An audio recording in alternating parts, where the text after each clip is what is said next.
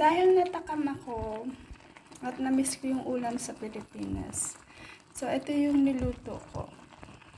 Ayan.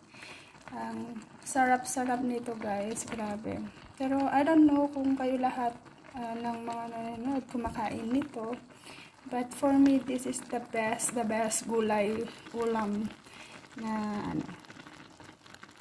The best, the best ulam talaga. So, ayan, meron siyang uh, talbos ng kalabasa. Tapos, may, um, ayan, merong okra. So, meron din dito ang tinatawag na spinach.